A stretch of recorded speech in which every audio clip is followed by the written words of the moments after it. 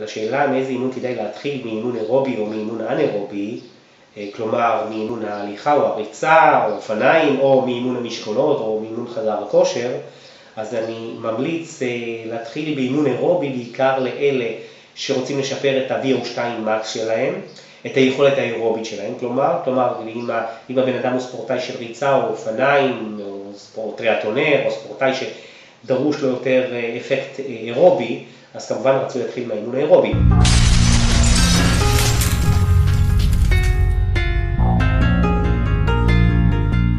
אך כפי שציינתי, הכל תלוי כמובן במטרה, וכך בסדר היעילות.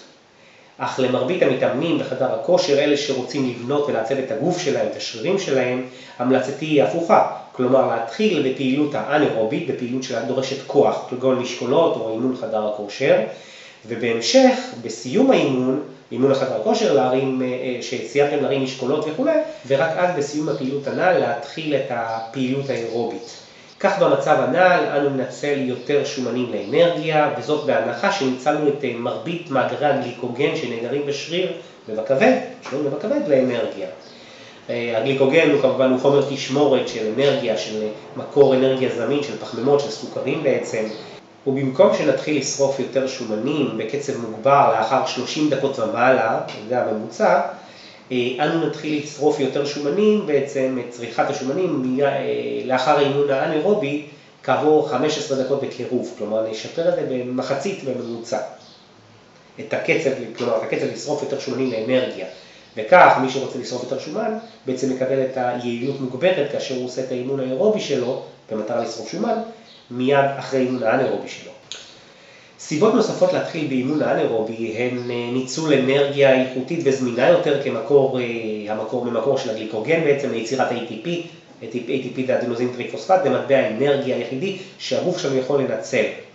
כלומר, פחות עייפות פיזית ומנטלית, כך בעצם נוכל אה, באופן יחסי לבצע אימונים כבדים יותר ובלי, ולחוש יותר אנרגטי. בנוסף, כפי שציינתי, אימון אירובי לאחר אימון אנאירובי יסייע לנו לנצל יותר שומנים לאנרגיה וכך נוכל לכתב את הגוף יותר ואת השרירים כמובן. כמו כן, מחקרים מראים שרמות אה, חומצות שומן חופשיות והורמון גדילה היו בעיקר במצבים, היו גבוהים יותר במצבים שלאחר אימון אנאירובי, אה, היו גבוהים יותר בהשוואה לאחר אימון אה, אירובי. כלומר, שאם נתחיל באימון אנאירובי, אנחנו נתחיל להגיע לאימון האירובי עם רמות אה, אה, הורמון גדילה, אה, שהוא הורמון אנבולי, וגם קטבולי לשומן ואנבולי לשריר, ברמה גבוהה יותר, ואז נצמצם את התהליך הקטבולי בשריר.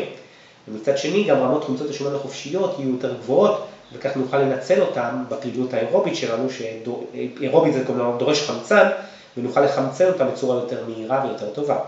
כלומר, שניתן לשרוף יותר שומנים לאנרגיה, יחד עם הגירוי המוגבר של הורמון הגדילה, שחיוני למראה עור צעיר יותר, anti aging, בניית שרירים וכולי, שזה פרט לא פחות חשוב, במיוחד לספורטאים או לאלה שרוצים גם לשמור על הבריאות של עצמם. ישנם מחקרים שהראו כי אימון אנאירובי לפני אימון אירובי משפר את גמישות העורקים ואת זרימת הדם לכלי הדם, בכלי הדם השונים.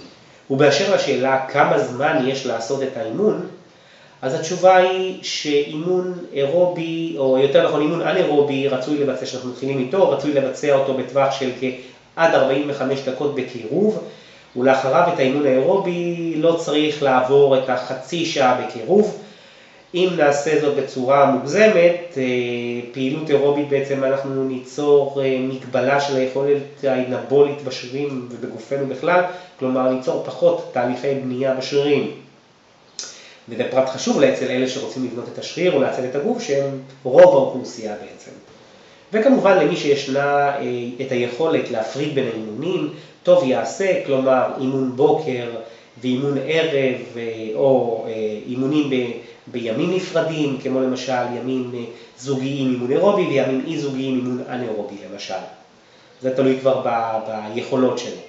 יש הרבה כאלה ספורטאים שעושים, או ספורטאים שלי, שמכוון אותם, תמיד כל מקרה כמובן לגופו, שנראה להם לעשות אימונים אירובים בבוקר על בטן ריקה, או לאחר אה, אה, שתייה, ואימון אנאירובי לקראת אה, שעות אחר הצהריים צהריים, ככה שהשרירים שלו הם יותר אלסטיים, יותר גמישים, ויותר חמים ויותר יכולים לעשות את הפעילות בצורה יותר יעילה וגם נטייה לפציעות היא יורדת בצורה, פציעות ספורט יורדת בצורה משמעותית.